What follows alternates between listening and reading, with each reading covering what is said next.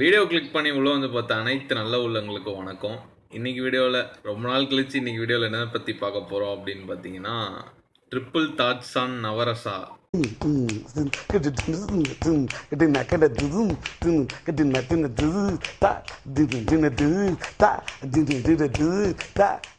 First of all நமக்கு பிடிச்ச படத்தை அட்ரஸ் பண்ணிடலாம். ஏன் பிடிச்சது? அந்த படத்தோட பேர். ஃபஸ்ட்டு கணேஷ்ட போயிடலாம். பிடிச்ச படம் வந்து வசந்த் எடுத்த டிஸ்கஸ் இந்த இமோஷனல் வச்சு எடுத்த பாயசம் தான் ம் ஏன்னா பார்க்குறப்ப அந்த சின்சியாரிட்டி தெரிஞ்சு சின்சியராக எடுத்திருக்காங்க. மற்ற படத்தை கம்பேர் பண்ண அது இல்லாமல் எனக்கு தெரிஞ்சு இருக்கிறதுலையே டஃபஸ்ட் எமோஷன் இந்த ஒம்போதுல அதுவாக தான் இருக்கும். ஏன்னா அந்த படத்தோட சின்சியாரிட்டி தெரிஞ்சது. அதுக்கப்புறம் அந்த எமோஷனை கரெக்டாக கன்வே பண்ணிருக்காங்க ஓகே ஓகேடா. உங்களோட கருத்து என்ன? இந்த ஜானகிராமனின் பாயசத்தை பற்றி எனக்கும் இந்த ஒன்பது ஷார்ட் டர்ம்ல ஒர்க் ஆனது வச்சுட்டு நல்லா ஒர்க் ஆனது பாயாசம் தான் ஏன்னா அந்த எல்லாருமே வந்துட்டு அந்த எமோஷன் எப்படியாச்சும் வெளியே காமிச்சிடணும் காமிச்சிடணும்னு சொல்லியே சீன் வச்சிருக்காங்க. ஒரு சில இடத்துல டைலாகே வந்துட்டு நான் இந்த எமோஷன் தான் நான் கோவம் தான் காமிக்கிறேங்கிற மாதிரி ரொம்ப அப்பட்டமா ஃபோர்ஸ் ஷேடோ பண்ணாங்க.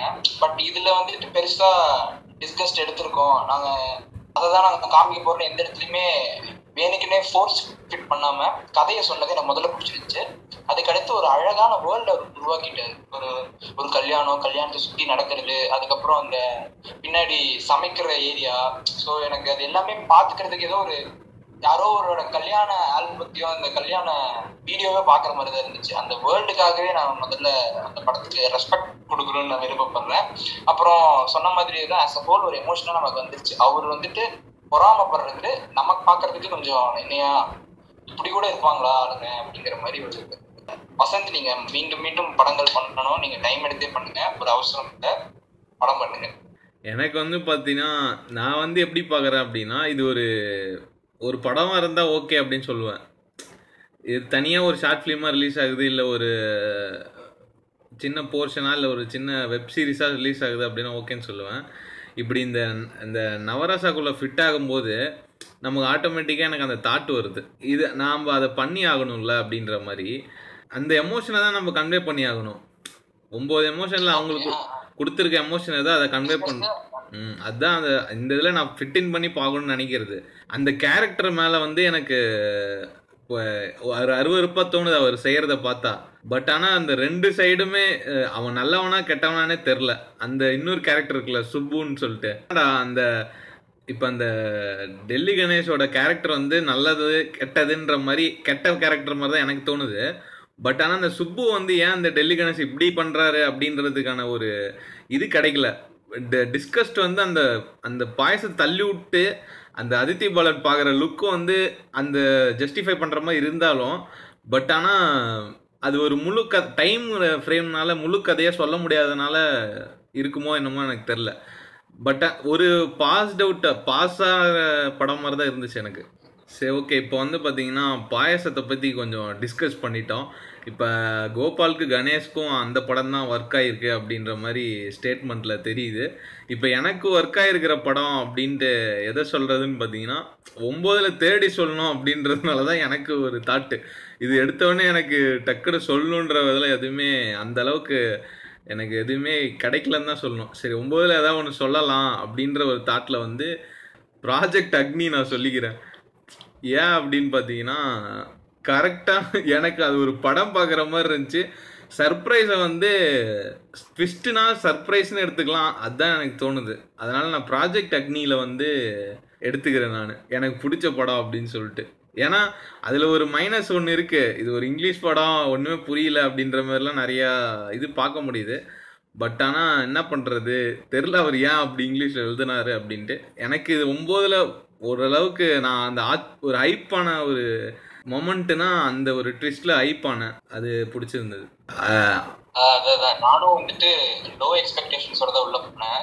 சரி, கார்த்திக் நரேன் என்ன பண்ணியது போறாரு? அதுக்கு முன்னாடி வேற பயங்கரமா அவர் ப்ரொமோஷன்ல இறங்கி இருந்தாரு மீம்ஸ் போட்டுட்டு இருந்தாரு இதுக்கு முன்னாடி பண்ண மாஃபியாவை பார்த்துட்டு நான் அதை வச்சு கணக்கு போட்டுட்டேன் தப்பு போட்டுட்டேன் தப்பா கணக்கு போட்டுட்டேன். பட் நல்லா இருந்துச்சு. எடுத்த கதையை சிம்பிளா சொல்லிட்டாரு. ஆனா கதை என்னன்னு கேட்டீங்கன்னா எனக்கு தெரியலன்னு தான் சொல்றேன் முழுசா. ஏன்னா அது ஒரு மாதிரி அந்த லிக்விடு கடைசியா பார்த்தா ஏதோ பெரிய தியரி பேசுற மாதிரி இருந்துச்சு. திடீர்னு பார்த்தா அந்த லிக்விட் கிட்ட வந்து கதை டைல்யூட் ஆயிரும்ல. இதுதான் இந்த லிக்விட் கிடைச்சா அவனுக்கு எல்லாமே கிடைச்சிடும். அந்த மாதிரி நமக்கு புரியுற மாதிரி இருந்துச்சு. இன்னும் கொஞ்சம் புரியுற மாதிரி இருந்துச்சுன்னா எனக்கு இன்னும் நல்லா ஒர்க் ஆயிடுச்சு. பட் நெவர் திலஸ் படம் நல்லா ஒர்க் ஆச்சு. எனக்கு தேர்டு தேர்டா ஒர்க் ஆன படம்னு நினைக்குது ஃபர்ஸ்ட் பாயாசம் அப்புறம் தேர்டு ப்ராஜெக்ட் அக்னி தான். ப்ராஜெக்ட் அக்னி ஃபர்ஸ்ட் டைம் பார்த்தோம் கோபால் சொன்ன மாதிரி ரொம்ப லோ எக்ஸ்பெக்டேஷன்ஸ் கலாய்கர் மோட்ல தான் படமே பார்க்க ஸ்டார்ட் பண்ணுது. சரி கலாய்க்க கண்டென்ட் இருக்கும் அப்படின்னு. அப்போ பார்த்தா அந்த மாஃபியா அந்த மாஃபியாவோட கம்பேர் பண்றதுனால நிறுத்தவே முடியல. எல்லாமே பெட்டரா இருந்தது. அந்த அரவிந்த் சாமியோட அந்த டாக்கி போர்ஷனே ரொம்ப அந்த தப் அந்த ஒரு கொஹரன்ஸ் இருக்கு அதுல ஆக்டர்ஸ்க்கு நடுவுல. அது ஒருத்தே இருந்தது. அதுக்கப்புறம் என்னன்னா இப்ப ஒருவேளை நிறைய பேர் என்னன்னா இப்ப கான்ஸ்பைரசி தியரி வச்சு எடுத்திருக்காரு இவரு. ஆக்சுவலா இதெல்லாம் சயின்ஸ் ஃபிக்ஷன்லயே வராது அப்படின்னு நிறைய நியூஸ் போட்டுட்டு இருக்காங்க நிறைய பேர் ட்ரோல் பண்ணிட்டு இருக்காங்க ஒருவேளை நம்மளுக்கு அதை பத்தின பெருசா நாலேஜ் இருந்ததுனால படம் நம்மளுக்கு ஓரளவுக்கு ஒர்க் ஆயிருச்சு எனக்கு இன்னும் கொஞ்சம் நல்லா ஒர்க் ஆயிருக்கலாம் இருந்துச்சு அந்த ட்விஸ்ட் எனக்கு பெருசா ஒர்க் ஆகலனாலும் படமா அந்த பெட்டரா இருந்தது அவரோட மேக்கிங் வைஸ்ல குவாலிட்டி வைஸ்ல சரி இப்போ கோபாலோட பிடிச்ச படத்தை வச்சு அடுத்த படத்துக்கு மூவ் ஆகும் சொல்லுங்க கோபால். அதான் எனக்கு எனக்கு ஃபர்ஸ்ட் ஒர்க் ஆனது பாயாசம். தேர்டு வந்துட்டு ப்ராஜெக்ட் அக்னி இந்த ரெண்டுத்துக்கும் நடுவுல இருக்கிறது இன்மை ஃபியர் நான் வந்துட்டு செக்மெண்ட் வைஸ் பார்க்கல. அவங்க ஒரு அலைன்மெண்ட் கொடுத்தாங்கல்ல அப்படி நான் படம் பார்க்கல. நான் எடுத்த உடனே ஃபர்ஸ்ட் பார்த்தது இன்மை தான். எனக்கு நல்லா ஒர்க்கா இருந்துச்சு என்னன்னா ஒரு ரெண்டு கேரக்டர்ஸ் அப்புறம் அவங்க சொல்ற ஒரு கதை. முதல்ல எடுத்துனே கொஞ்சம் ஆர்டிபிஷியலா தெரிஞ்சுது. ரேண்டமாக ஸ்ட்ரேஞ்சர் கதைக்குள்ள வர்றாங்க அப்படி நடக்குது. அந்த பொண்ணு அப்படியே உள்ள விட்டுருது. ஜஸ்டிஃபிகேஷன் இருக்குதான். ஆனா எனக்கு அது பார்த்தாலே தெரியுது ஒரு ஸ்ட்ரேஞ்சர் வரான் அப்புறம் ஒரு ஃபோன் அடிக்குது அப்புறம் அவன் இல்லைங்கிறது நமக்கே தெரியும். நமக்கே இப்ப படம் பார்த்து வர வர வர வர வர நிறைய படம் பார்த்தனாலே நமக்கு தெரியுது அடுத்து இதுதான் இதுதான்ங்கிறது இப்போ ஆடியன்ஸ் தெரிய ஆரம்பிச்சு அதே மாதிரி ஒரு ஸ்ட்ரேஞ்சர்லேயே தெரிஞ்சிருக்கு. அதுக்கு அப்புறம் கொஞ்சம் கதையை அப்படியே கிரிப்பிங்கா பிடிக்க ஆரம்பிச்சது. அந்த ஃபிளாஷ்பேக் போர்ஷன்ஸ் எல்லாம் போச்சு அப்புறம் ஒர்க் ஆச்சு. அப்புறம் திருப்பி வரும்போது மறுபடியும் ஒரு எண்டிங்ல எனக்கு ஏதோ சொதப்பின மாதிரி இருந்துச்சு. பட் அஸ் அ ஹோலா அந்த பயங்கர ஒரு அந்த எமோஷனை எனக்கு கொடுத்துட்டாரு. ஒரு இடத்துல நானே பயந்துட்டேன். என்ன இவன் தான் அந்த சின்னா இருப்பாரா? அப்படிங்கிற மாதிரி நான் பயந்துட்டேன். அது அப்படியே இருந்திருக்கலாம். அதை தூக்கிட்டு மறுபடியும் ஒரு சயின்டிபிக் எக்ஸ்பிளனேஷன் ஒன்று கொடுத்து அதுக்கப்புறம் படத்தை லாஜிக்கலா முடிக்கணும்னு ஒரு இடத்துல போய் முடிச்சு அந்த மாதிரி ட்ரை பண்ணியிருக்க வேண்டாமோ? எனக்கு அந்த பயம் கிடைச்சது. அதோடய அப்படியே அவன் சின்னாவே இருந்து அப்படியே கிளம்பி இருந்துருக்கலாம்னு தோணுச்சு. எனக்கும் அந்த படம் நல்லாவே ஒர்க் ஆயிருக்கு ஆனா அந்த சேம் ஒரே ஸ்டோரி தான். ஒருத்தர் பழிவாங்க ஒரு கேரக்டர் போய் மீட் பண்றாரு. அப்புறம் மீட் பண்றப்ப தெரியுது ஓகே நம்ம இந்த தப்பு பண்ணியிருக்கோம் இதனால பாதிப்பு வந்திருக்கா அப்படின்னு தெரியும். கடைசியில அந்த தப்பு பண்ண கேரக்டர் இருக்கும் இது ஷார்ட் ஃபிலிம் ஃபார்மேட்ல நிறைய ஷார்ட் ஃபிலிம் இருக்கு. இந்த இதுலயே தமிழ்லயே கூட இருக்கு. ஆனா இந்த வித்தியாசப்படுத்தி காட்டுனது இதோட செட்டிங் தான். ஒரு வேற ரிலீஜியனோட பேக்ட்ராப் அப்புறம் நம்ம நான் இது வரைக்கும் இந்த கதை பார்த்தது ஒரு சின்ன ஏவி விட்டுறது. அதை ஏதோ டீட்டெயில்டா போய் நான் தமிழ்லயோ வேற லாங்குவேஜஸ்ல நான் எக்ஸ்ப்ளோர் பண்ணது இல்லை மாதிரி. அதனால எனக்கு எல்லாமே புதுசா இருந்தது இதை பாக்குறதுக்கு அதுக்கப்புறம் ஒரு இடத்துல உண்மையிலேயே அந்த ஃபியரை ஃபீல் பண்ண முடிஞ்சு.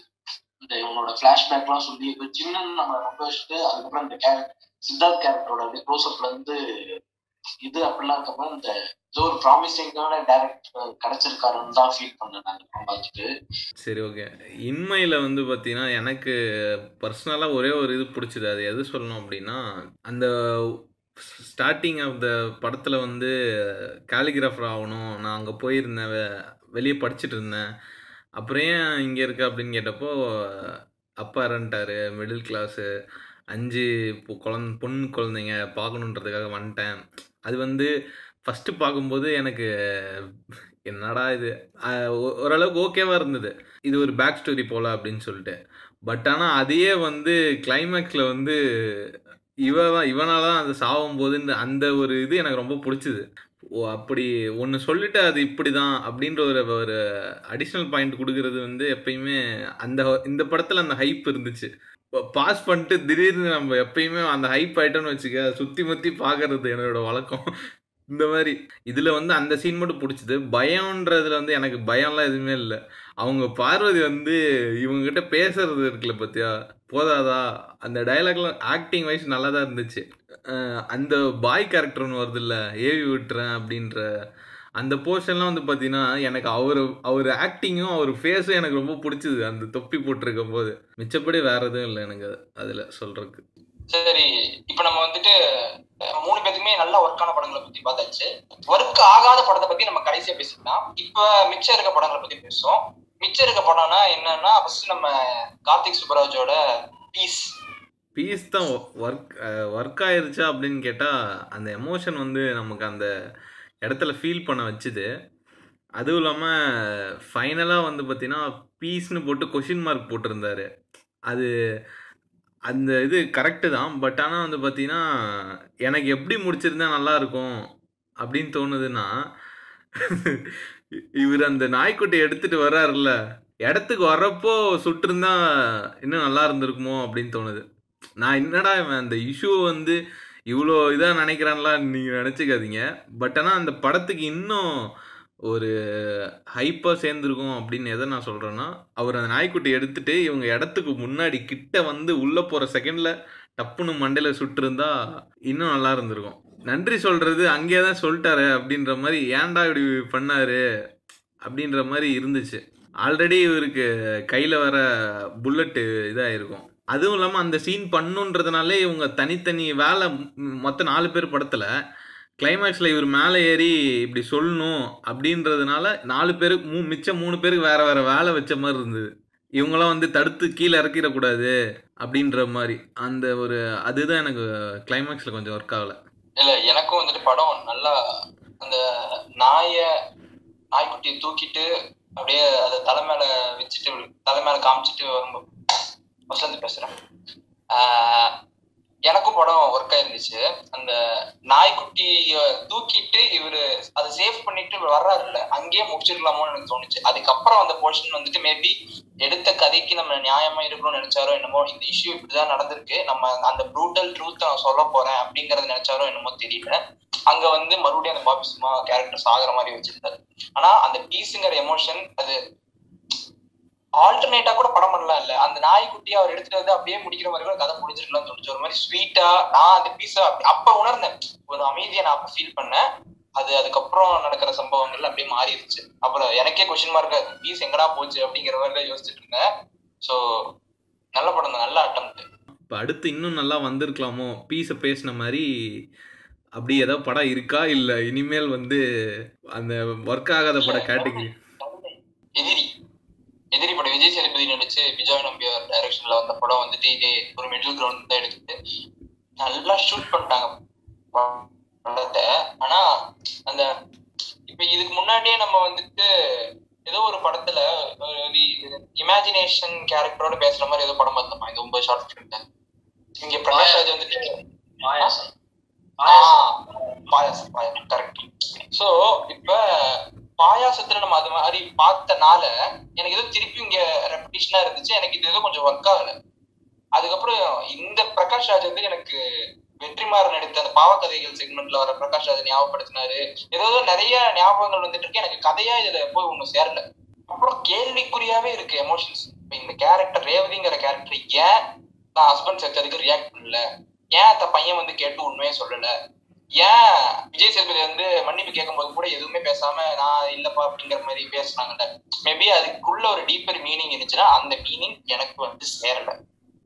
கணேஷ் உன்னோட தரம் சொல்லுங்க மோபி எனக்கு இன்னும் கொஞ்சம் பெட்டரா ஆயிருக்கலாம் அப்படின்னு வந்துச்சு என்னன்னா அதான் ஷூட் பண்ணதெல்லாம் நல்லா பண்ணியிருந்தாங்க பர்ஃபார்மன்ஸஸ் ரொம்ப சூப்பரா பண்ணியிருந்தாங்க விஜய் சேதுபதியும் சரி ரேவதியும் சரி பண்ணியிருந்தாங்க.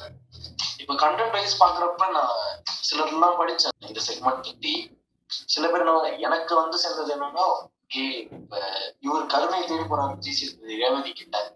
நீங்க என்ன மன்னிச்சிட்டீங்கன்னா நான் அந்த கில்ட் ஃபீலிங் வந்து விடுபட்டுருவேன் நான் ஒரு கொலை பண்ண அந்த கில்ட்ல இருந்து நான் வெளில வந்துருவேன்.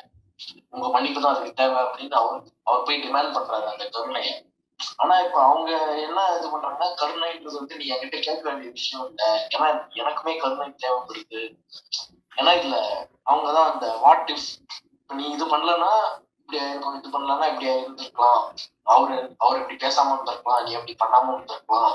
அப்படின்றத போட்டு வரப்ப அவங்களோட ஒரு பாயிண்ட் ஆஃப் வியூ வைப்பாங்க நான் இதை பண்ணாம இருந்திருக்கலாம் அப்படின்னு கடைசியில முடிப்பாங்க அது இல்லாம அவங்க போய் சேர்ற இடமே ஒரு கோயிலா தான் கோயிலுக்கு போய் ஏதோ ஒரு அவங்க கருணையை தான் தேடி போறாங்க அவர் அவங்க கிட்ட இவருக்கு கருணை தேடி வர்றாரு. அதனால ரெண்டு பேருமே கருணையை தேடிட்டு இருக்காங்க.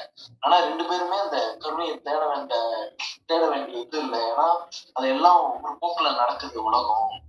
அதனால நம்ம நம்மளோட ஃப்ரீவில் இல்லை அப்படின்னு சொல்ல வருது நான் நினைச்சுக்கிட்டேன். எதிரி இந்த படம் பேரு ப எதுலேயுமே எனக்கு ஒர்க் ஆகலைன்னு தான் சொல்லுவேன்.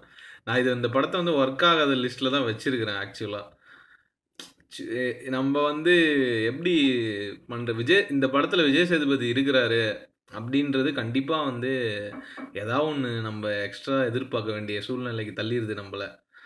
சரி ஓகே அவர் எப்பயுமே நேச்சுரலாக பர்ஃபார்ம் பண்ணுவார் அப்படின்ற மாதிரி விட்டால் கூட எனக்கு ஏதோ பின்னாடி இருக்குமோ அப்படின்ற ஒரு இடத்து கூட இந்த படம் என்னை எடுத்துகிட்டு போய் விடலை அப்படின்னு தான் சொல்லணும். சரி அடுத்து எந்த படத்தை பற்றி பேசலாம்? கணேஷ் நீ ஸ்டார்ட் பண்ணு.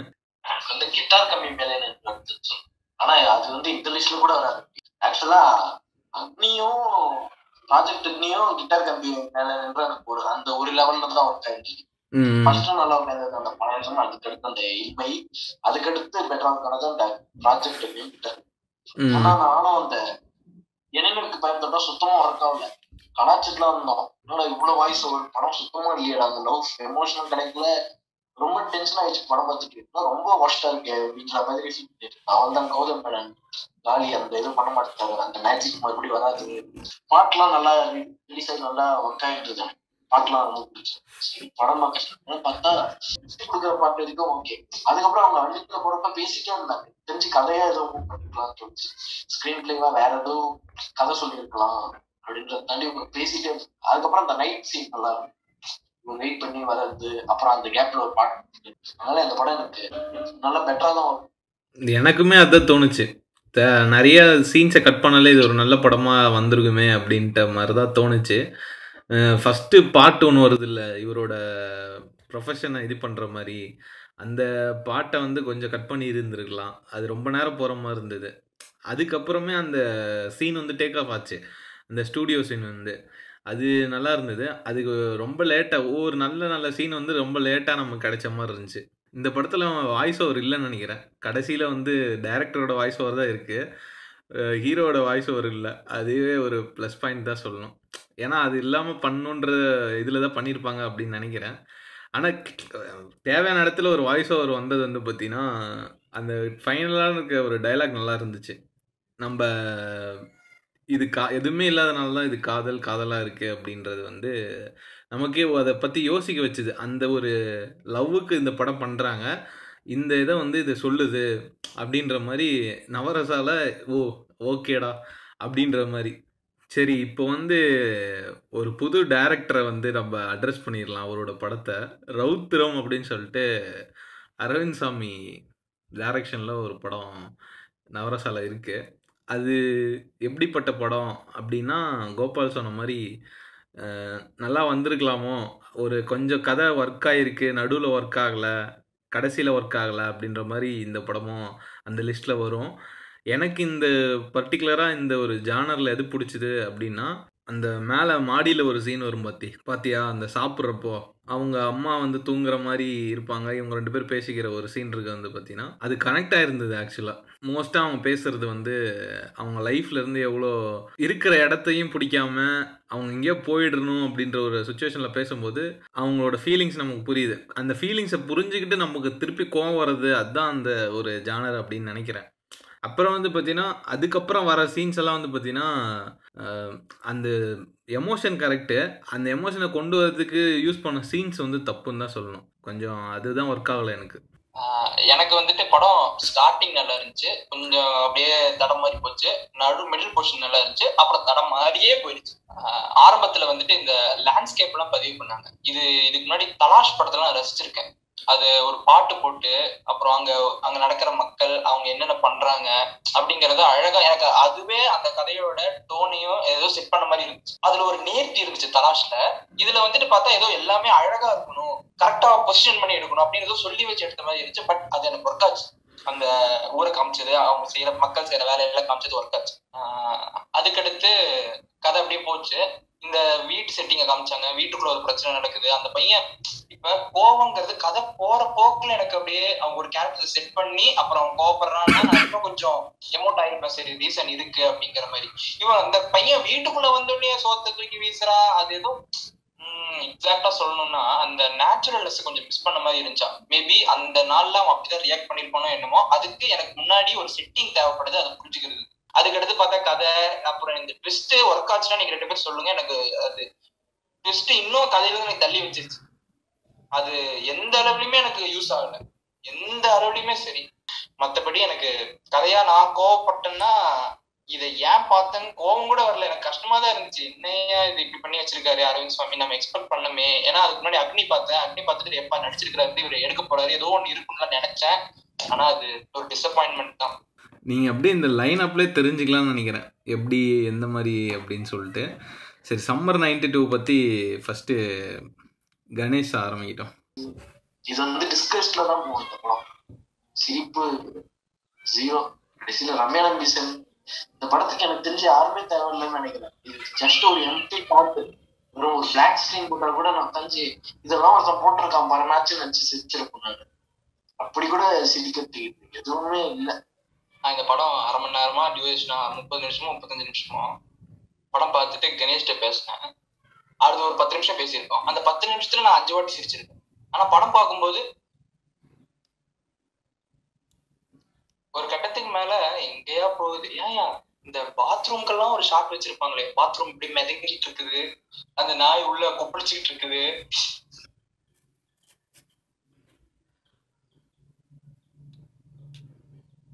என்னடா? அப்புறம் கேக்குறேன் என்ன எடுத்து வச்சிருக்கீங்கன்னு கேக்குறேன். அதுக்கப்புறம் வந்துட்டு பேசுறதுக்கு எதுவும் இல்லைங்க படத்துல.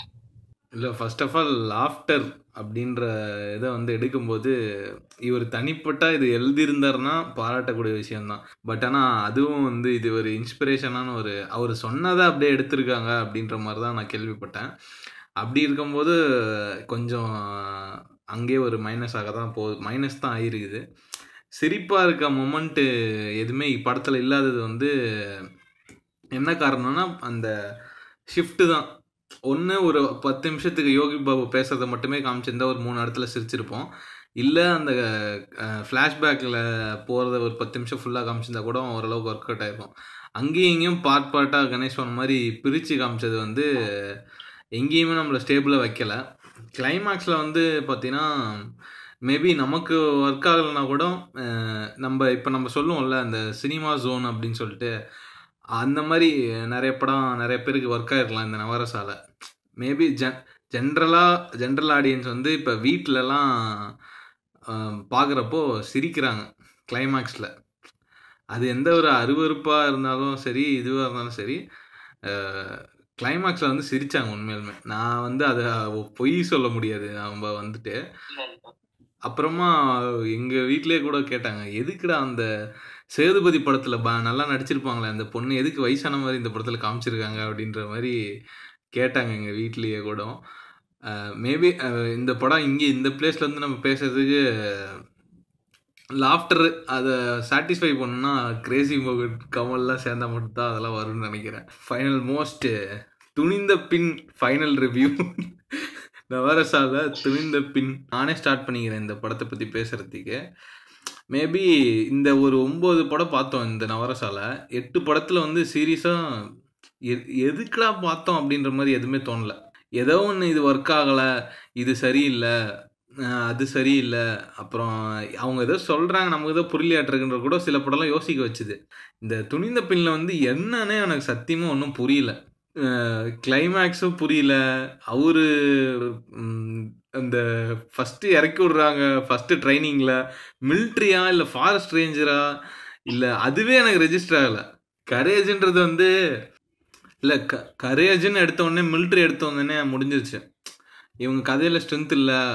ஒரு அவுட் அவுட் அப்பீரியன்ஸில் நம்ம கரேஜை காமிச்சிக்கலாம் அப்படின்ற மாதிரி முடிஞ்சிருது கரெக்ட் கதைய கதையா அவங்க இருக்கட்டும். மேக்கிங் வைஸ் ரொம்ப சொதப்பிட்டாங்க. ரொம்ப ரொம்ப ரொம்ப சொதப்பிட்டாங்க சின்ன சின்ன கேரக்டர்ஸை விட்டு லிமிட்டட் கேரக்டர்ஸ்ல நல்லா படம் பண்ணிருக்கு ரெண்டு மூணு ஷார்ட் ஃபிலிம் அதை நம்ம பார்க்கக்கூடிய நல்ல படம்னு சொல்ற மாதிரி ஒரு ஷார்ட் ஃபிலிம் அது கருத்து வயசு ஏதோ நிறைய முரண்பாடு இருக்கலாம். ஆனா அந்த கேரக்டரை மவுண்ட் பண்ணிட்டாரு இங்க ஒரு நாலு பத்து பேர் வந்துட்டு ஆர்மி ஆபீசர்ஸ் யாரும் மிலிட்டரியோ ஏதோ ஒரு இடத்துக்கு ரைடு போறாங்க. அந்த பயமெல்லாம் எதுவுமே இல்ல. பிரேம்ல அவங்க மட்டும் தான் இருக்காங்க. சுத்தி யாருமே இல்லைன்னு தெரியுது நமக்கு. தெரிஞ்சு "ஏய், ஜாக்கிரதைடா ஜாக்கிரதை அங்க திரும்பு இங்க சரி ஓகே ஃபைனலாக வந்து இந்த ஆர்டர் வைஸே நீங்கள் நாங்கள் பேசினதை வச்சு இந்த படத்தை புரிஞ்சுக்கலாம். மேபி உங்களுக்கும் இப்படி தான் இருந்திருக்கும்னு நினைக்கிறேன். மேபி உங்களுக்கு அதர் தாட்ஸ் இந்த படம்லாம் ஒர்க் ஆயிருந்தது அப்படி தான் நீங்கள் கமெண்ட் செக்ஷனில் சொல்லலாம். கமெண்ட் ஒர்க் ஆயிருந்தது மட்டும் சொல்லக்கூடாது. ஏன் ஒர்க் ஆயிருந்ததுன்னு சொல்லியிருந்தீங்கன்னா நாங்கள் யோசிச்சு பார்க்குறதுக்கு வசதியாக இருக்கும் அப்படின்னு சொல்லிட்டு இந்த நவரச நல்ல நல்ல கமெண்ட்டுக்கு வந்துட்டு டைரக்டர் பார்ல இருந்து ஒரு ஒரு கிரெடிட் ஒரு கிஃப்ட் ஏதோ ஒண்ணு வரும். நெட்ஃப்ளிக்ஸ் பாவம் அப்படின்ற மாதிரி முடிச்சுக்கலாம்னு நினைக்கிறேன். அமேசான் வந்து ஓரளவுக்கு போன ஜூன் மாசம் என்னன்னா ஜெகமே தந்திரம் வந்துச்சு நெட்ஃபிளிக்ஸ் பாவங்கிறீங்க. இப்ப நவரசா வந்திருக்கு நெட்ஃபிளிக்ஸ் பாவங்கிறீங்க. அமேசான் பிரைம் சார்பட்டா பரம்பரை வந்துச்சு. தரமான அடுத்த சார்பட்டா பரம்பரை பத்தி ஒரு வீடியோ வரும்போது நீங்க வெயிட் பண்ணிட்டே இருங்க. சார்பட்டா பரம்பைக்கு ஒரு ட்ரிபிள் தாட்ஸை விட ஒரு டீட்டெயிலிங்கான ஒரு வீடியோ கணேஷ் மூலியமாகவும் கோபால் மூலியமாகவும் ஏன் மூலியமாகவும் கிடைக்கும் அப்படின்ட்டு அந்த நம்பிக்கையோட இந்த வீடியோ முடிச்சுக்கிறேன். நிறைய வீடியோஸோட நான் சேர்ந்துக்கிறேன் அன்டில் தென் பாய் ஃப்ரம்